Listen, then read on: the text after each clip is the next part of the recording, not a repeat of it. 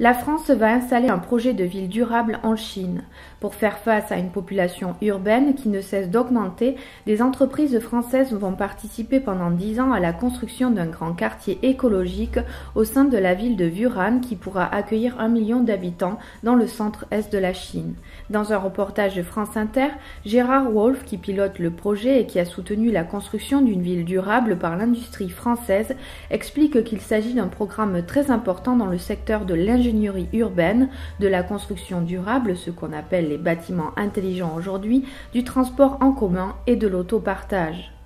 Au micro de France Inter, il a indiqué C'est un gros projet pour la France car nous développons déjà des approches de villes durables dans une quantité de pays importants, que ce soit en Amérique latine, que ce soit en Asie, que ce soit en Afrique, là où se fait encore la croissance de population, là où la population urbaine croît encore plus vite que la population globale. En Chine, il y aura 250 millions d'habitants en plus dans les villes. Parmi les entreprises françaises à Wuhan, Renault lancera son véhicule autonome électrique pour faire partie du projet écologique.